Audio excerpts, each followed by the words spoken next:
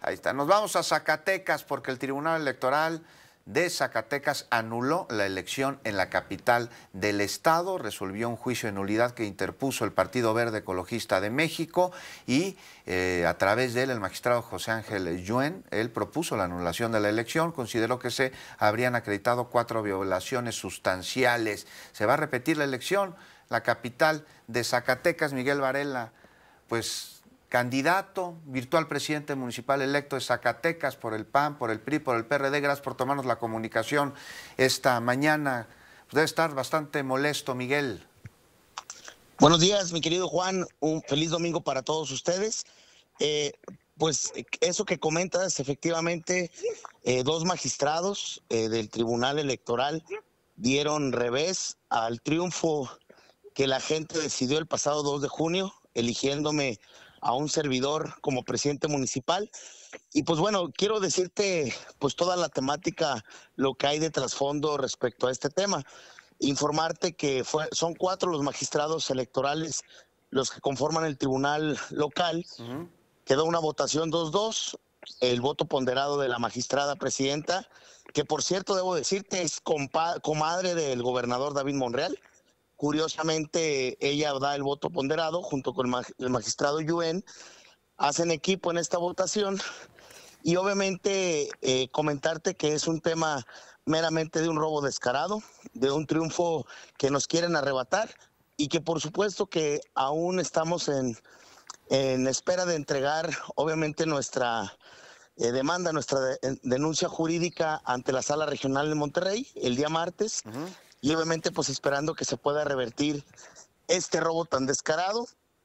¿Cuál es el trasfondo, mi querido Juan? Quiero decirlo, porque esto no es un tema jurídico, es una cuestión política. El trasfondo es que yo como candidato a la alcaldía en la capital, uno de los temas que yo siempre manifesté es estar en contra de una construcción de un segundo piso en el bulevar principal que tiene la capital que es un robo descarado, el robo del siglo en Zacatecas, donde tres kilómetros y medio los quieren eh, construir con, a 3.600 millones de pesos, un, un, aproximado de a millón el metro lineal. Esa es la corrupción y ese es el nivel del descaro. Y pues bueno, el gobernador David Monreal, en complicidad con el candidato que hoy es el alcalde, que le ganamos a la buena y nos quieren quitar a la mala esta, esta victoria, Jorge Miranda de Monreal, pues obviamente nos, nos quieren arrebatar este triunfo. Ese es realmente el trasfondo. Los cuatro elementos son absurdos, mi querido Juan. Eh, tristemente los magistrados, la magistrada Gloria y obviamente el magistrado Yuen, no hicieron caso respecto a las denuncias que nosotros también procedimos previo al inicio de la campaña, durante la campaña y el día de la jornada electoral. Y curiosamente, únicamente realizan este, las sesiones, eh, las providencias para desechar o para contribuir a este robo que nos están haciendo. Los cuatro elementos que mencionas, totalmente absurdos. Vamos a analizarlos, si me lo permites, Miguel, que me das la oportunidad pues, de aclarar lo que se está determinando a través de la autoridad electoral. Se señala que eh, habrías realizado 16 entrevistas en frecuencias radiofónicas, eh, comprando tiempos en ellas y que pues, no forma parte del genuino ejercicio de la libertad de expresión y representan una sobreexposición para, para ti, para candidato, que señala la autoridad electoral, habrías violado la equidad en la contienda. En eh, ese primer tema, para irnos por, por punto, mi querido Juan, a un absurdo, no hay ningún convenio de radio. De hecho, el verde en campaña mete un juicio eh, debido a que el INE lo rechaza eh, en, ese tema, lo meten a la sala superior. La sala superior desecha el argumento del verde y en este caso, este primer punto, el tribunal local, más que nada la presidenta Gloria, comadre del gobernador David Monreal y el magistrado Yuen como ponente, ni siquiera eh, respetan o acatan lo que la sala superior desecha en este primer punto. tema desechado, tema incongruente porque no hay ningún convenio de colaboración con ningún medio de comunicación. Las entrevistas que tú mencionas, si tú analizas eh, dividido en los 60 días, pues es como si haya tenido cada cuatro días una entrevista. Totalmente absurdo. Miguel, nos cae la pausa. Te pido por favor, si me la puedes aguantar para seguir conversando sobre lo que se te señala y que me digas qué va a suceder a través de este proceso en el que se anula la elección en Zacatecas. Son las 8 de la mañana, gracias por continuar con nosotros. Miguel Varela, candidato del PAN a la alcaldía de Zacatecas. Gracias también por aguantarnos el corte. Estábamos hablando sobre los elementos a través de los cuales la autoridad electoral allá en el estado de Zacatecas anuló la elección en la capital del estado tú habrías eh, resultado triunfador con un margen, me parece, un poco más del 4% de la elección.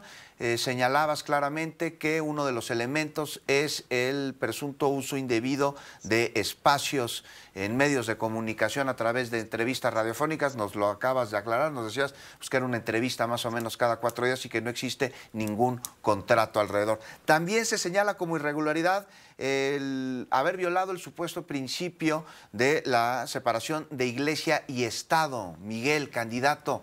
¿Cómo ves? ¿Violaste la separación del Estado y, de la Iglesia durante el proceso? Eh, segunda mentira por parte del ponente magistrado Yuen y de la comadre del gobernador David Monreal, la magistrada Gloria como presidenta. Te explico. Sí, que usaste tu imagen en una fiesta religiosa, ¿no? Eso, eso señalan eh, en principio, ¿no?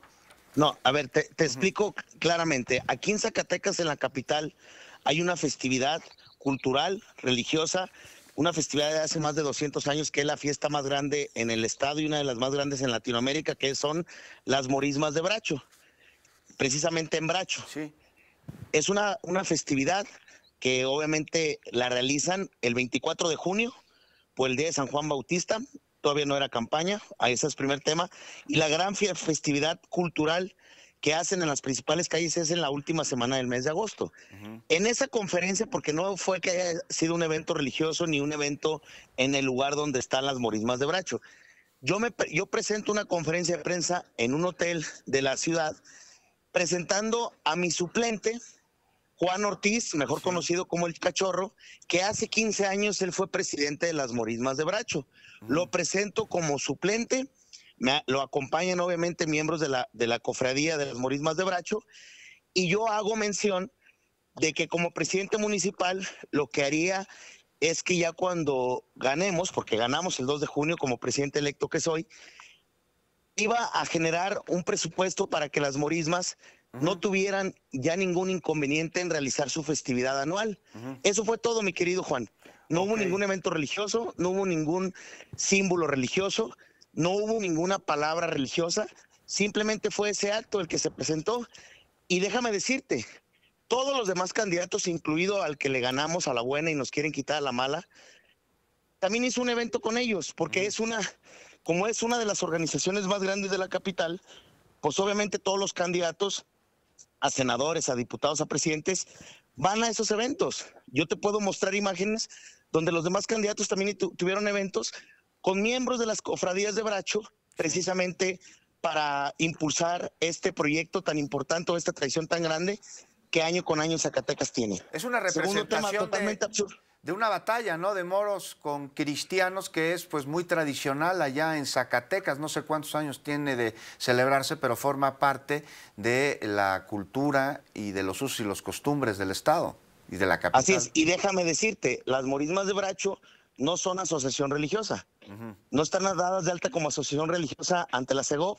Es una asociación civil que se presentó la documentación, se presentó la evidencia y tristemente este segundo caso, pues también ni siquiera no lo revisan y ni siquiera lo hacen válido y lo surten como un efecto parcial de otro motivo de anulación. Oye, otro motivo es que eh, supuestamente la autoridad electoral del Estado de Zacatecas habría utilizado una publicidad, una promoción para eh, evitar anular el voto por parte de los electores y que en esta publicidad, una infografía, habrían puesto nada más los logotipos de los partidos este, que te postularon, Miguel.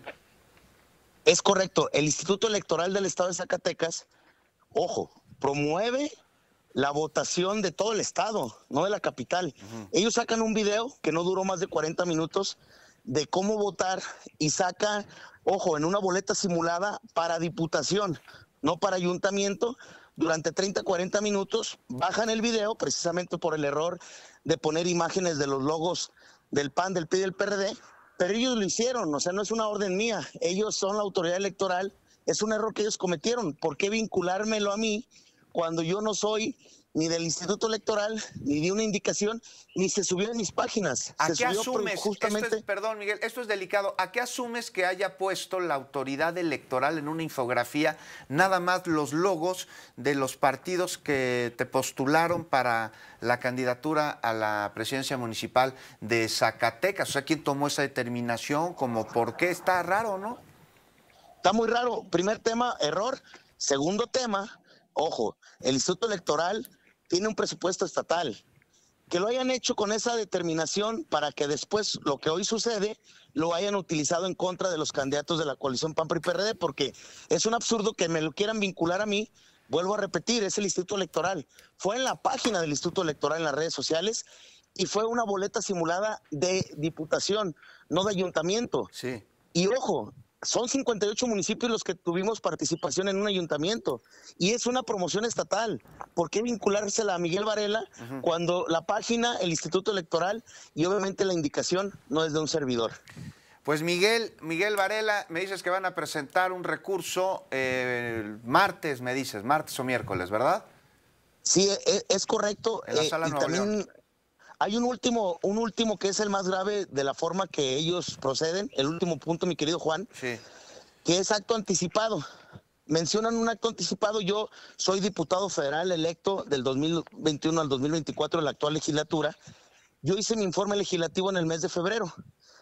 El Partido Verde, que fue el que encabezó esta contienda Morena Verde en la capital, impugna para impedirme ser candidato. En ese tiempo yo no era precandidato, yo era diputado federal. Tenía el derecho de, hacer mi informe legislativo. El INE, lo, cuando me impugnan el INE valida que estoy en mi derecho eh, natural laboral de entregar ese informe legislativo. Y esa es otra de las razones por las que impugna también el procedimiento el ponente magistrado. La verdad es que es un robo, o sea, no es otra conclusión más que eso. Y ojo, mi querido, mi querido Juan, algo bien importante. Nosotros solicitamos la impugnación, la anulación de 33 casillas, donde ahí en esas 33 casillas, si se hubieran contabilizado, nuestra participación hubiera aumentado, nuestra diferencia. Hoy tenemos una diferencia de 4.51%, para ser exactos, 3.301 votos. Para el 5% nos faltan 350 votos más menos no, no abrieron ese expediente, no lo permitieron, no lo ordenaron el tribunal local y te garantizo que con esas casillas nuestra diferencia se amplía al 5% y con eso se omite una de las razones que el magistrado ponente Yuen parcialmente dice que al no tener más del 5% de la victoria, se procede a la anulación. No lo impugnan. Y ojo, le quitan el derecho ciudadano, una máxima eh, jurídica electoral de el derecho al voto que la ciudadanía manifestó el pasado 2 de junio. Te lo digo con toda contundencia, es un descaro, es un robo. Nos vamos a ir a la sala regional.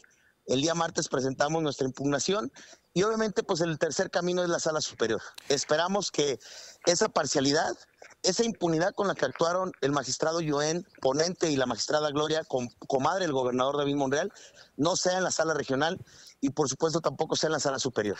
Pues Miguel Varela, si me lo permites, conversaré contigo el próximo martes en la tarde para que me des a conocer todo lo relacionado con este recurso que van a presentar el martes ante la autoridad electoral para pues intentar anular, ahora sí que la anulación de la elección en Zacatecas determinada por el Instituto Electoral Local.